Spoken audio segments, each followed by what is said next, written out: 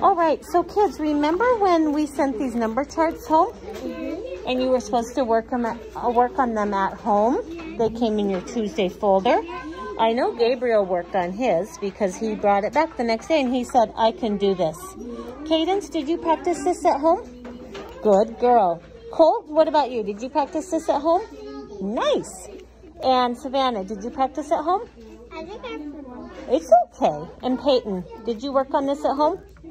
Okay, so the next thing I'm going to do is I'm going to see who, I'm going to hand these out and we'll practice saying our numbers and I'll be watching you. And if you're pretty good at your numbers, then I will put a big blue square on the chart over there. And then, kids, you will get a new list, okay? I'll show you how this works. Two, um, five, three, four, one, four, one, four, two, three, four, wait, one, um, two, five. Okay, mister, I think you know those numbers. What do you think? Okay, so we'll get you a new chart.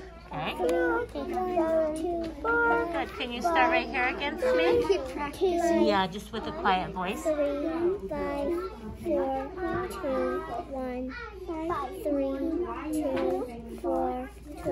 Kaden, stop for a minute. I think you know those numbers. What do you think? That means I'm going to give you a new chart, and it'll be called Chart 2.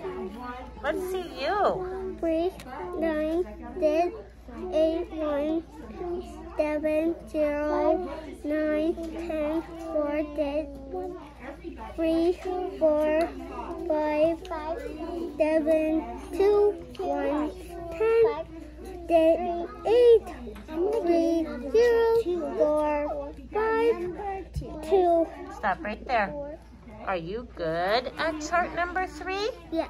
Yes, I think you know all those numbers, so I'm going to be giving you chart number 4. Oh, wow. Okay. a bigger number than one, two, three, four, five, five, three, five, You're doing good, honey. Keep going. Try not to move your finger. two, three, Don't cover it up. Point under it so your eyes can see it. one, Yeah, fancy one. three,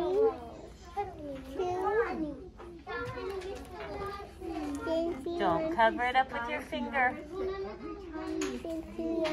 fancy four. Okay.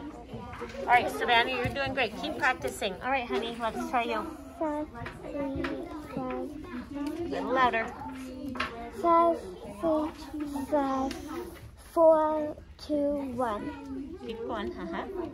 Three, two, four, three, five, two.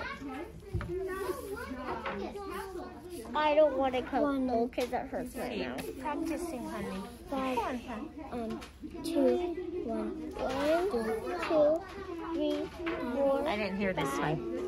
four, Good. five, five, three, five, five,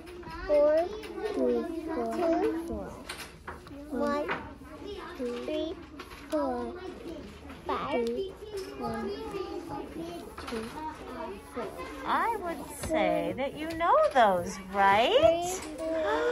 That's exciting. So look, instead of chart one, now I'm going to move you to chart two, okay? okay. Just colored these in in front of the kids and explained how the chart works.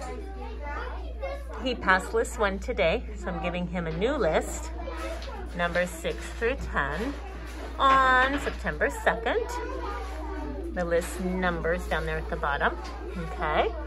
Now they just said something like Gabriel is ahead of all of us, which is a great thing to notice already. Typically kindergartners don't notice stuff like that, but if they do, it motivates them a little bit. So I am now going to prepare their new lists. So I am now have handed out their new list to them so they can practice a little bit and I can help them while I prepare their next list to send home. So this is all it takes to prepare her new list is this note that we already have prepared. I put her new list on there. I attached this. And I'm going to send this home with her today in her backpack. We will learn, Thank you.